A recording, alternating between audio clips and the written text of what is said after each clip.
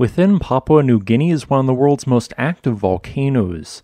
Not only is it actively erupting right now, but it recently produced a powerful explosion, sending a column of ash to a height of 15,000 meters or 50,000 feet. The volcano I'm referring to is known as Manam, which encompasses the entirety of the island it is situated on. Its latest explosion was merely a small part of its continuing eruption, which has been ongoing since June of 2014. This video will discuss this volcano and mention what its future hazards are. The Manam volcano can be found along northern Papua New Guinea, where it is one of a chain of islands which contains a number of highly explosive volcanoes such as Long Island and Kadovar. The Manam volcano encompasses the entirety of Manam Island, and there is even a possibility that the adjacent Boisa Island to the northwest is merely a satellite cone of the same volcano. Of course, this has not yet been proven, but is an interesting possibility. The Manam volcano is a towering stratovolcano that erupts lava which ranges from basalt to basaltic andesite to andesite. It is not known when this volcano began forming, but it has existed for at least 10,000 years as layers of its ash have been found as ancient sediment in bogs correlating to that time period. The Manam volcano began forming when a fissure of magma erupted onto the ocean floor at a depth of 1400 meters or 4600 feet. It did not take long for this fissure to coalesce into a single vent, which soon began building a rounded volcanic cone. Over the span of more than 20,000 years, it slowly crept towards the ocean's surface. As it reached the surface, a series of unusually explosive eruptions occurred due to the interaction of lava with seawater. This output a significant quantity of ash, building a plateau of gray rock.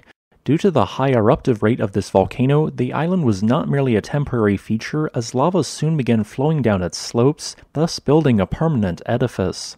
Later, as the island continued to expand, a new eruption occurred from a vent on the northern edge of the volcano. Soon, lava was ejected high into the air and intermittent explosions of ash began. This eruption built a 100 meter high cinder cone which is quite prominent on the island today. Due to the lack of vegetation on this cinder cone, it may have formed as recently as only 200 years ago. Currently, the Manam volcano stands at a height of 1,807 meters or 5,928 feet above sea level. Its eruptions are vulcanian in nature, caused by lava plugging the active vent, gas building up, and a large explosion associated with pyroclastic flows occurring soon after. Due to the overall topography of the island, these pyroclastic flows are typically funneled into one of four valleys, which the locals refer as to avalanche valleys. Most pyroclastic flows do not travel beyond a kilometer, but some manage to reach the ocean 5 kilometers distant and continue to expand outwards. The trees in this photo were recently scorched by a pyroclastic flow. Note the superheated particulates still present on their exterior. These long distance pyroclastic flows have at times been deadly, such as in 1996 when it killed several residents who live just north of the western Avalanche Valley. Although the vast majority of the island's populace has not returned since a major eruption in 2004, at least 3,000 people still live on this island. I hate to say this, but these people should not live here, especially since the volcano has been almost continuously erupting in a highly explosive manner since 1974.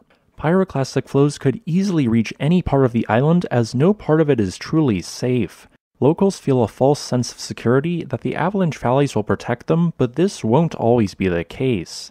Thus, I recommend a permanent evacuation of the overall island.